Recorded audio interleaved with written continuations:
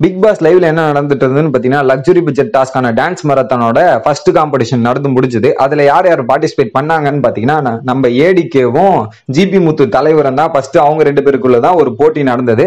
So அவங்களுக்கான costume வந்து GB முத்து black ஷர்ட்லயும் நம்ம ஏடிக்கே வந்து ரெட் கலர் ஷர்ட் தான் காஸ்டியூம்னு சொல்லிட்டு அவங்களுக்கான பாட்டு என்னன்னு பாத்தீங்கன்னா சொடக்கு மேல சொடக்கு போட்டது அப்படின்ற சாங் சூர்யா சாங் போட்டாங்க. ஸோ அதுல வந்து நம்ம ஸோ ரெண்டு பேருமே சூப்பராக ஆடினாங்க.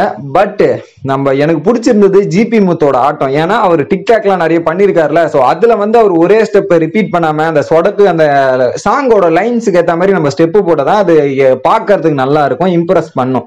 ஸோ அதுக்கேற்ற மாதிரி தலைவர் என்னமா டான்ஸ் ஆடி அந்த சொடக்குல இருந்து அந்த டான்ஸ் ஸ்டெப்லேருந்து அவர் போட்ட ஒவ்வொரு மூவும் டிஃப்ரெண்ட் டிஃப்ரெண்டாக போட்டார்.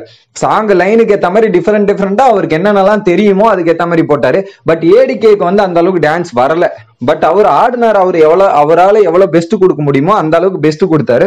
பட் அதில் வந்து முத்து வந்து எல்லாரையும் இம்ப்ரெஸ் பண்ணி வேற லெவல் பங்கம் பண்ணிட்டாரு. ஸோ ஜெயிக்கிறவங்களுக்கு நானூறு பாயிண்ட் போக போகுது இல்லை ஸோ அதில் வந்து ஓட்டிங் போடணும். ஸோ இப்போ அந்த மிச்சம் இருக்க கண்டஸ்டன்ட் வந்து எஸ்ஆர் நோ சொல்லணும். ஏடிகேக்கு ஃபர்ஸ்ட் என்ன பண்ணிட்டாங்க இந்த ஓட்டிங்லேயே கன்ஃபியூஷன் ரெண்டு பேருக்குமே மாத்தி ஒரே ஆள் வந்து ரெண்டு பேருக்குமே எஸ் எஸ்ன்னு சொன்னாங்கன்னா எப்படி இது? பிக் பாஸ் அதான் தெளிவா சொல்லிட்டாரு. ஒரு வெற்றியாளர் தான் இருக்க முடியும். ஒருத்தருக்கு எஸ்ன்னு கொடுத்தீங்கன்னா மத்தவங்களுக்கு நோ தான் அப்படின்றத தெளிவா சொல்லிட்டாங்க.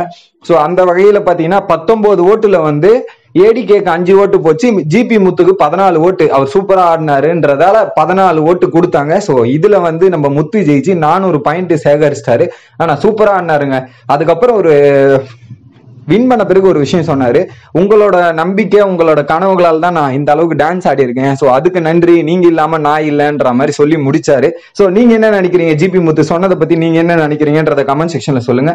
மேலும் மேலும் இந்த மாதிரி அப்டேட்ஸ் தெரிஞ்சுக்கணும் மறக்காம நேஷனல் வுட் சேனலை சப்ஸ்கிரைப் பண்ணுங்க.